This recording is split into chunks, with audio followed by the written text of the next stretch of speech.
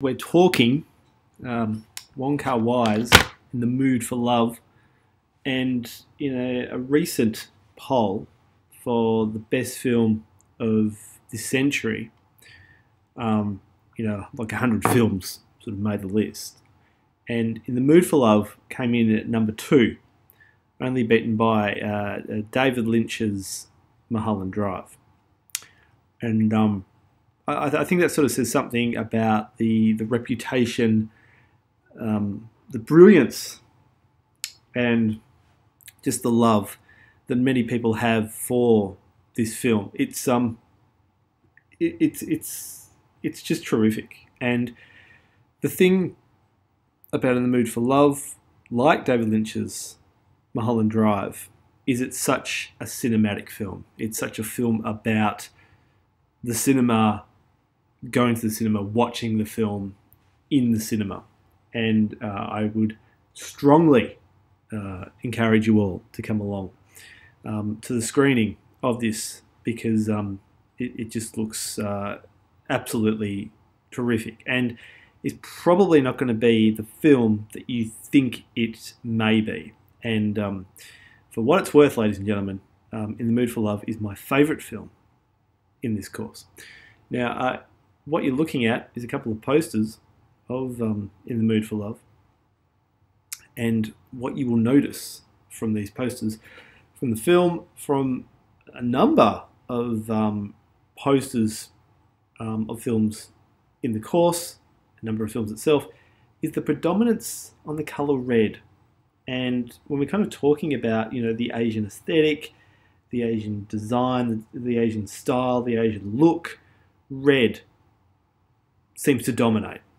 And you might want to think about why red is such a prominent colour. And not only in the marketing for this film, but it's also um, uh, in the film itself. The Wong Kar Wai really favours this kind of red aesthetic that's sort of um, continuing across, um, you know, this, this film. And this film is very sensual film. It's a very romantic film. It's a very beautiful film, and red seems to be some sort of uh, appropriate color.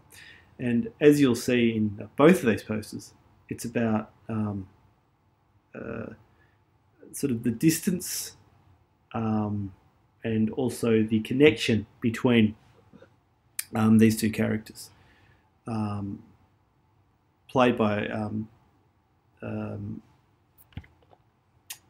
played by these two really kind of popular um, sort of Asian Hong Kong actors, Tony Leung and Maggie Cheung. And basically, it's it's it's it's, it's essentially it's a story about an affair, but it's not it's not a it's not what you expect it to be. Okay, I, I just I just want to put it out right there. And it's a very sad film. It's a very wistful film. It's a very romantic film. Um, and it's a very intense film, but not in the way that um, most of these kind of affair films, if you want to call it that. Is that even a genre? I don't even know if that's a genre. Um, are, but we'll get to that in a sec. Okay. Now, uh, the general questions that I'm kind of posing uh, for this film is what makes Asian cinema Asian, and it's a film that you can certainly apply to any of the films in the course. But what is it about this film that makes it Asian? Now, even of a film inside Asia, so uh, Stephen Teo talks about Asian films being inside Asia and outside Asia. You know, some films are set inside Asia, some films are set outside Asia. Um, what makes a film inside Asia Asian? Now, what's interesting about a film like In the Mood for Love is that it clearly works for Western audiences, right? And it's not sort of a, a you know an Asian blockbuster film. It's it very much works at a more independent, critical level, but it really, really does speak um, to Western audiences. Now, there's something universal about what's actually happening on the screen with the story and things like that, but it's also about the way that Wong Kar Wai seems to be playing through particular ideas of Asia and Asianness. Asianness that is digestible very much for um, Western audiences. Now, something about the film it's worth discussing is the very nostalgia of this film, of the look, um, of, of, the mood of the film. Um, that, that's very much um, happening uh, across this. Now, um, what is not Asian about Asian cinema, and what is not Asian about In the Mood for Love? Well, I mean, in a way, it's kind of ridiculous because the film is Asian, of course, but there is a lot of Western influence happening in this film, and that's worth thinking about. Certainly, just through the songs that you hear across the film. The songs and the music play a seminal role in creating a mood, an atmosphere, and also a sense of nostalgia. Now, nostalgia being a world that can't be touched anymore, a world that no longer exists. But the problem that these characters have is that they want a world within their world that doesn't exist, that they can't actually they can't actually touch. Uh, you know, which in itself is, is kind of very interesting to think about. Um, so, to what extent does foreignized Asian cinema contribute to its transnationalization? And what's transnational? about the film. Now, a lot of the film, um, like if you're interested in directors like uh, J.P. Melville um, and Godard, and you know a number of French directors, um, as much as um, kind of Hollywood directors like uh, Douglas Sirk and people like that, you will see a lot of that influence within this film. And I think that's the thing about Wong Kar Wai. He's he's not making an Asian film exclusively for Asia. He's actually making an Asian film for um, world cinema, and I think that's why the film works really well. If you sort of go into some detail of the film, you know you will see that um, the, the the director of photography, the person who shot the film, is actually uh, not Asian. Well, he's actually Australian, um, Christopher Doyle, who was there for most of the shoot, but he had to leave because uh, yeah, he had another film to go to. All right. How do the changes in time and place give alternating Asian experiences? So, how and why is this an Asian film? I asked. And, uh, you know, again, accent and language. There's a number of languages across the film that you will hear. Um, some English, some French, um, as much as, you know, other Asian languages think about that. Think about the accents, what's actually spoken. What do you hear as an audience member? And what does Wong Kar Wai want you to hear across the film? Now, um, just a couple of Peter Pugsley uh, quotes. Um, what then are requirements for the construction of an aesthetic of Asianness? So we're talking about the aesthetic. We're actually talking about the look, the style, the design of an Asian film. And um, the most obvious of these when dealing with film would be the direct element of the cinematic experience. And again, we're banging on about this thing called the cinematic experience. What is the experience that this film is giving you?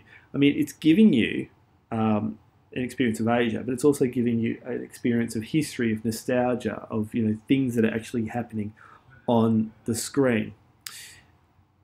Um, also, Pugsley, um, he talks about um, the mechanical reproduction of an image.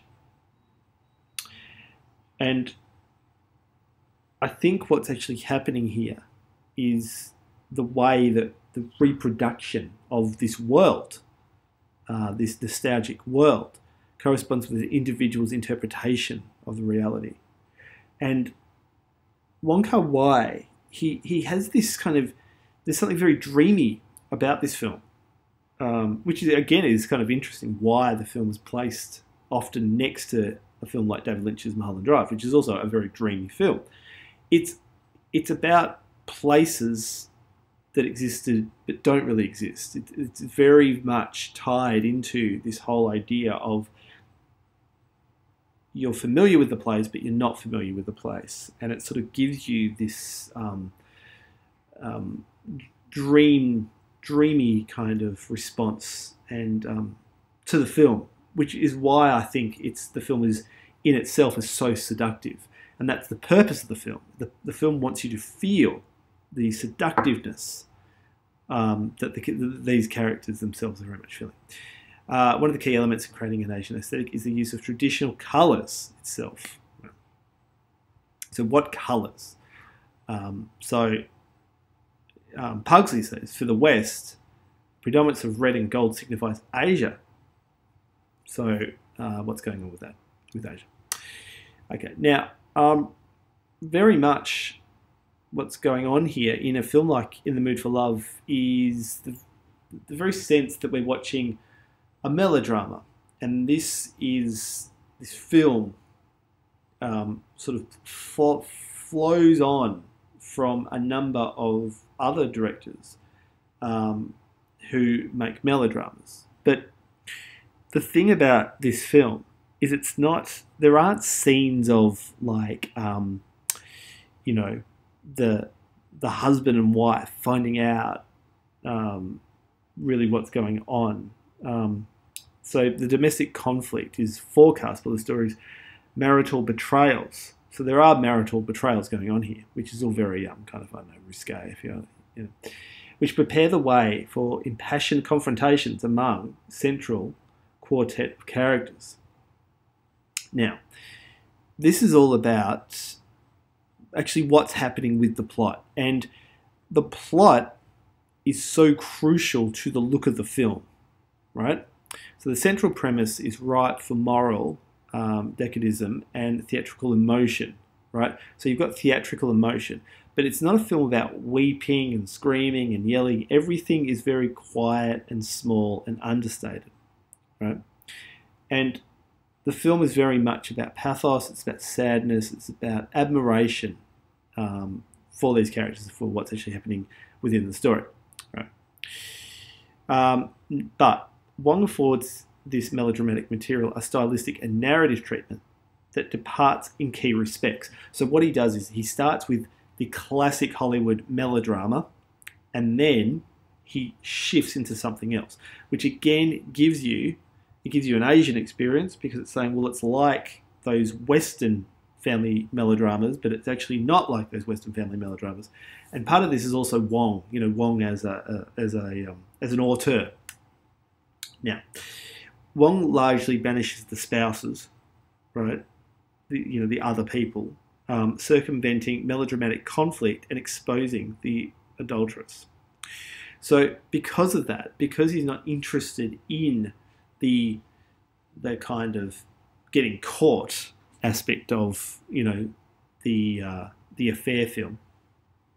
The film becomes more sensual, it becomes quieter, and it becomes about emotional expression because all he's interested in are these two central characters and where they are in the world and how they move through the world. In the mood for love, and this is a quote um, from the reading that you had for this week. The mood for love never raises its voice because it is not about passion um, it is not about passion expressed, but passion concealed. And I think that's that's kind of the key to the film. It's not about passion expressed, but passion concealed. And how do you actually conceal passion? Well, Wong Kar Wai conceals passion through the aesthetic, through the nostalgia, through the look, through the music, and that's why the film is so effective because it's he doesn't ever go for the easy option. It's always the difficult option, but boy is the payoff satisfactory. Okay. Um, what way does authenticity appear in Asian cinema? Now, this is kind of interesting, right? Because um, a lot of people have sort of discussed um, the individual. So the individual, this is a quote, is is authentic to the extent that they recognize and accept responsibility for everything they do, right? That is an authentic character in a film, that they accept responsibility for everything they do, right? An inauthentic existence then is evolved when individual freedom is sacrificed to prevailing social mores, eventuating in the loss of self. So if you don't respond to your own emotion, but the but you basically behave in a way that sits within the social mores um, of the world around you, then you kind of lose yourself in that therefore living an inauthentic existence. Now, the question about In the Mood for Love is the connection between these two people is very strong. The love and the tenderness between these two people is very strong. But they're in a time when they can't openly express that to each other. So the question is: Is in the mood for love? Are these characters in uh, Chow and Su? Are they actually authentic characters or inauthentic characters? And I want you to really think about that uh, when you watch the film. So the uh, the inauthentic self is another quote here. The inauthentic self is molded by external influences, whether these be circumstances, moral codes, political um, authorities, or whatever. Right. So what are the external influences that are affecting these characters? Now, Chow and Su eschew the knowledge that would enable them to gratify authentic desire. Right. But they refrain from acting on their mutual desire because of the negative consequences that would befall them as social subjects. So they don't, it's about being part of this world and this community, this close knit world. And if they just acted on their own desires, right, they would actually be outcast from this world and from this um, society. So it's actually about their identity and actually trying to do the decent thing rather than just. Um, you know, living some sort of hedonistic kind of world where they just sort of fulfill their own desires. But does that make them authentic characters or inauthentic characters? And I think we can have a great um, chat about that in the classes. Now, the Asian experience. So, um, this is a, a, great shot of um, of Tony Leung, and um, something that Stephen Teo talks about is experiencing Asia through the faces and the way that faces are, filmed and photographed. And um, so at the end, he says, um, if we think of experience of Asian films by watching Asian faces and by taking in what they reveal to us, we are directly experiencing a factor that will lead us towards greater appreciation of the films. Right? So think about that. The thing about this film is it's so understated, but it asks you as a viewer to actually make sense of what's happening. And the film will work for you as much as you're willing to work for the film, if that makes sense. The film doesn't just give you things, it doesn't overstate things. It actually will hold a shot on a face and will actually ask you to interpret exactly what's going on. Now, more. Uh, beyond the portrayal of basic primary emotions and animates instead of the higher emotions, complex and compound affective states. Okay, so we're talking about higher emotions, but we're doing it by the audience actually having to put on um, those emotions onto the characters. The, ca- the film itself isn't telling you how to think. And restrained emotional atmosphere heightens the poignancy of the protagonist's suffering, right? So because the characters aren't overstating things, right?